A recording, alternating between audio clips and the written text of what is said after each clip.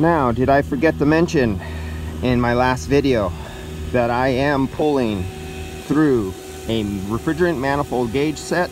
I'm pulling vacuum and I'm pulling vacuum through refrigerant hoses. Those are both two no-nos. You do not do that at least on a brand new system when commissioning and you want to clean, dry, and tight. I would never do a commissioning with a old set of refrigerant gauges and hoses because they actually interfere and mess up. It gives you so many leak points and just the refrigerant hoses alone cause you to have uh, a decay in your vacuum and not being able to achieve a lower vacuum. But this was an old unit and it was already contaminated and exposed to the atmosphere because of the leaky isopolar copper line set. That's crap of the world. And so I use a set of manifold gauges. And I'm using the micron leak, uh, the micron gauge that is located where it should not be located for a good system commissioning and that's inside the refrigerant manifold. And I'm using it on refrigerant hoses that should not be used because this is just getting a system back up and running. I am not doing a total reboot. I'm not doing compressor replacement. I didn't flush the system. It's not brand new. It's not commissioning. It's getting a system that was contaminated and open to the atmosphere for a year through a leak caused by isopro, uh, isopolar uh, line sets and they just need it up and running and I'm cutting out heads as you see in my previous posts on videos on this unit so I had to make that clear because I don't think I mentioned that you do not if you want to do a real good job commissioning brand new clean tight dry system you go directly off your vacuum pump source directly through either copper lines or silicone hose right to your valve core remover right into your system. You do not use refrigerant charging lines for pulling deep vacuums. But I thought this was worthy to show you something here about the micron gauge located in refrigerant manifolds. If you've seen some of my other videos, especially from automotive, you have contamination from other systems and you have thin films of oil inside even your manifold and that's a contamination especially when it's wet and so you've seen in many videos where I have demonstrated I've turned off the high side, low side, and I draw just vacuum inside the manifold and then isolate off the hoses, only holding a vacuum in the manifold where the micron sensor is located. So you have to really understand what we're measuring.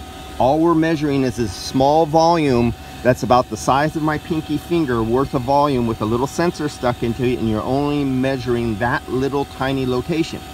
Now when I'm show you and I bring it all the way down to 100 microns or less and then I close off all the valves, it shoots all the way up to 600, 700, 800 microns. You go, oh my God, there's a leak. No, it's not a leak, usually. Uh, it's moisture or refrigerant, especially moisture, in that contaminated refrigerant that's a thin, micro thin film on the walls inside your manifold gauge. But this one has been on overnight. So you now see right now, I close down the low side, I close down the high side, I'm open on vacuum. So you are reading the vacuum and the decay and its inability to pull a good vacuum because I'm using a refrigerant charging hose and this is what they call their Hilmor charging vacuum hose which is a piece of shit uh, so I'm only capable of going down to 180 microns. And you've seen my demonstrations where I use a silicone mic uh, a silicone vacuum hose only to the same port on the same set of gauges and I can easily get down to say under 100 microns within 30 seconds, 60 seconds. But if I turned it off right away, it would raise by several hundred RPMs because of just that slight film of contamination. Well, in this situation, here's my limitation. But now I'm going to show you what happens when you had it on a vacuum pump overnight and you possibly dried out all the contaminants in that thin film of oil that's inside your refrigerant manifold gauges. Let's see what happens. We'll kill off the big vacuum line, big one. We'll kill off the little refrigerant charging line, little one. And now it'll balance out and it'll go, and you see it actually dropped because there's a let's say a harmonics and oscillation a resonance of pulsations and it messes with your true readings.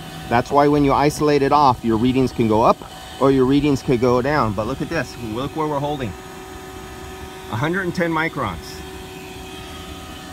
This is the difference between leaving it on vacuum overnight and literally drying out the contaminants from inside your gauges because I have the gauges all closed off now and the micron sensor is located here in the center right inside the middle where that sight glass is in this little section with the volume about my pinky.